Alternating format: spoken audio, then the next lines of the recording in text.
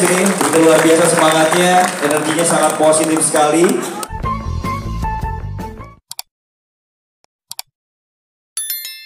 Tujuh belas tahun yang lalu dan sampai ke saya, sampai saya sekarang ada 5.000 orang yang bisa jadi audience saya, audience kita. 17 tahun yang lalu saya tinggal di Eropa di London waktu itu. Saya berkunjung ke Jakarta menengok ibu kami yang sedang sakit waktu itu. Dan saya waktu itu dipanggil oleh kakak saya Prabowo Subianto. Belum ada Gerindra. Saya belum politisi, saya bukan politikus. Kami waktu itu tidak ada ide sama sekali untuk mendirikan partai. Waktu itu kita bicara mengenai hal yang paling sederhana. Gizi untuk anak-anak dan bocah-bocah. Gizi waktu itu Pak Prabowo bilang ke saya, saya ketua umum, HKTI, Himpunan Kerukunan Tani Indonesia dan saya sangat prihatin karena saya dapat data-data yang sangat mengganggu saya. Data itu apa?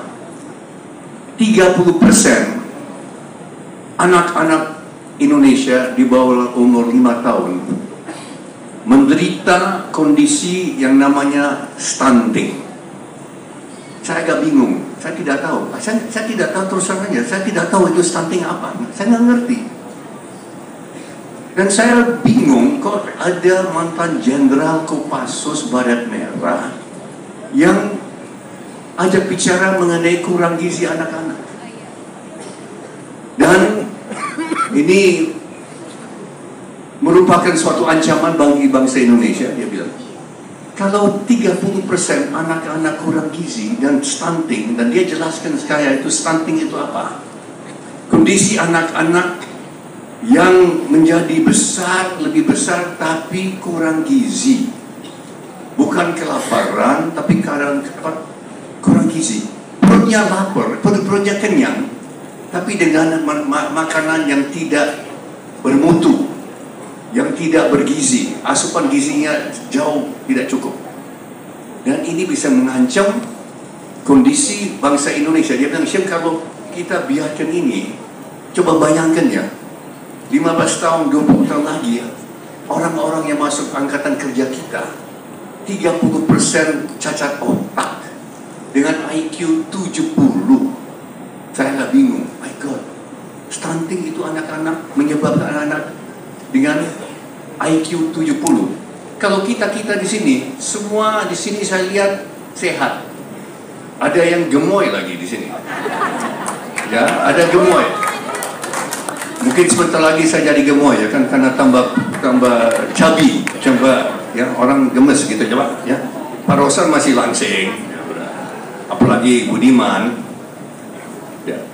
Nabi waktu itu ini suatu malapetaka. Ini bencana menurut Prabowo bencana. Maka dia bilang salah satu salah satu solusi adalah kita berikan gizi dan makanan cukup agar supaya kita mencegah manusia dengan IQ 70. Kita di sini semua ada 100 105, minimal 105. Ya, ada mungkin genius-genius seperti Pak Habibie, Ya, Budiman saya kira 130. Ya, genius. Kita tepuk tangan untuk Budiman. Saya kira sama dengan Pak Rosan, genius. Saya 100, 105 IQ. Tapi 30% rakyat kita bisa dengan IQ 70. 70 berarti apa? Sedikit di atas kera. Di atas monyet.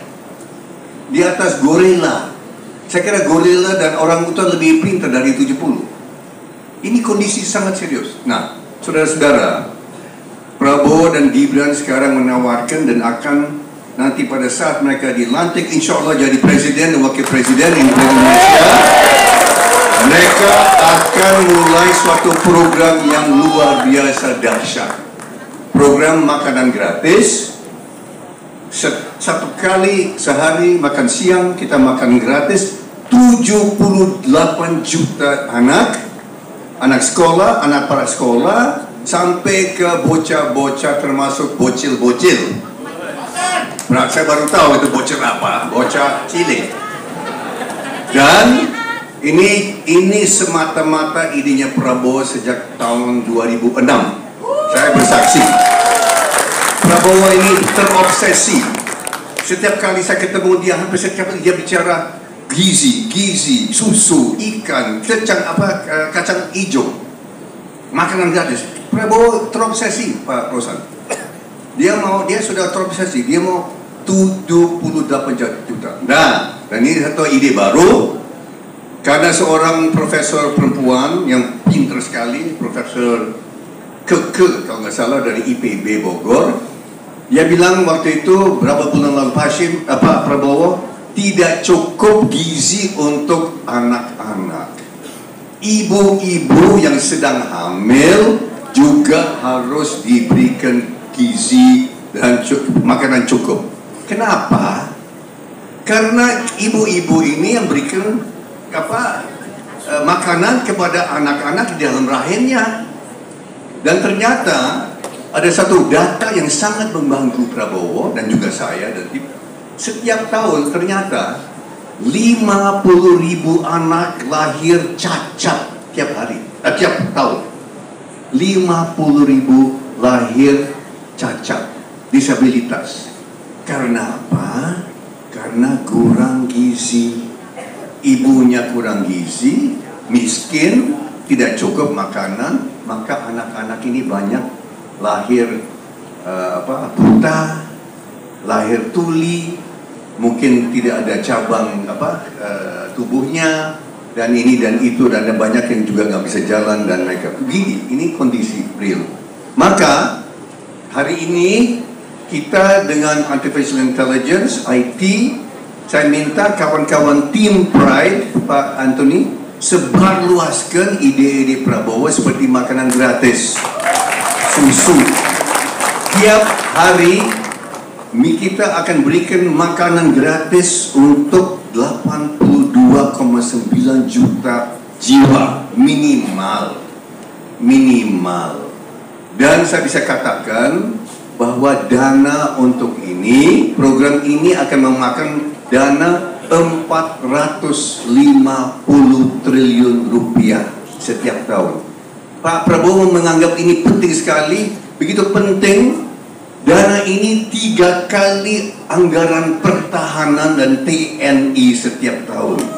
Tiga kali lebih anggaran TNI dan uh, ke, pertahanan 137 triliun dan program untuk makanan gratis 450 triliun.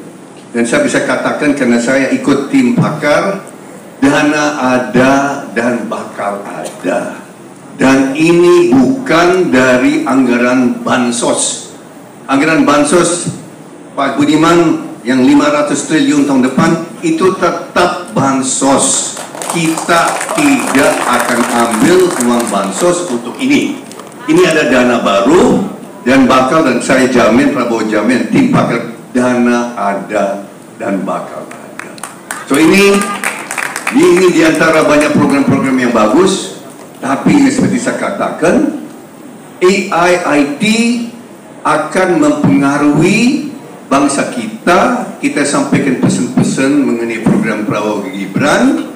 Salah satu adalah untuk memberikan makanan sehat, keadaan sehat. Kenapa? Yang penting, kalau anak-anak kita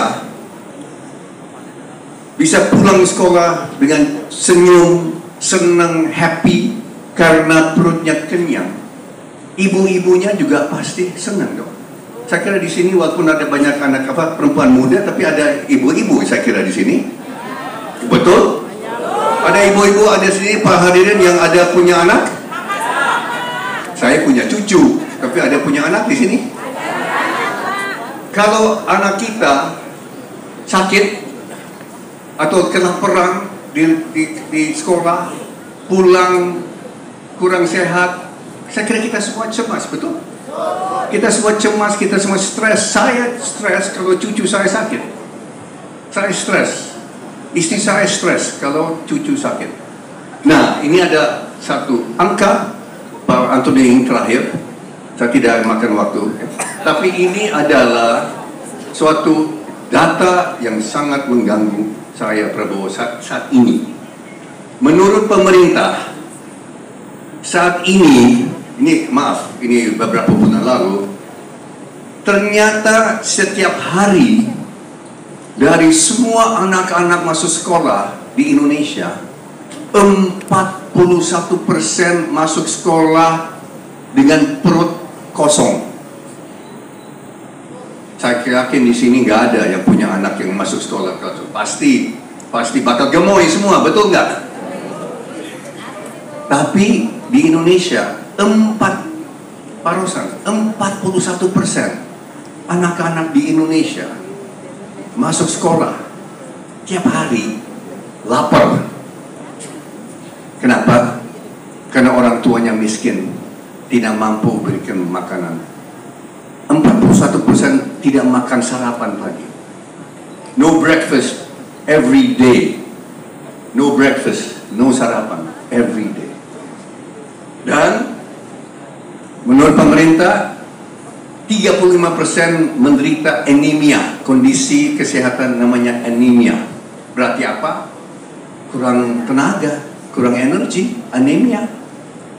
Dan menurut data yang sama dari Menko eh, PMK Pak Muhajir, Menko PMK dan Kebudayaan, PMK apa Pembangunan Manusia dan Kebudayaan, 35% dikasih makanan oleh orang tuanya untuk jajan. Sebetulnya untuk jajan.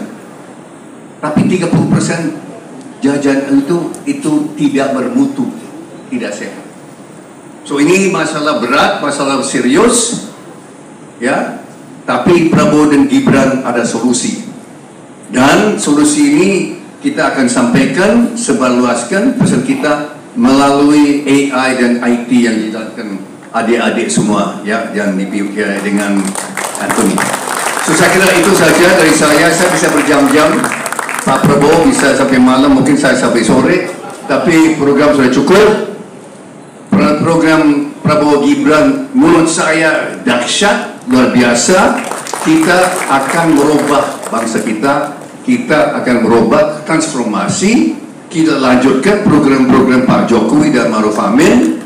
Tapi kita akan sempurnakan dan kita akan perluas. Saya kira itu saja.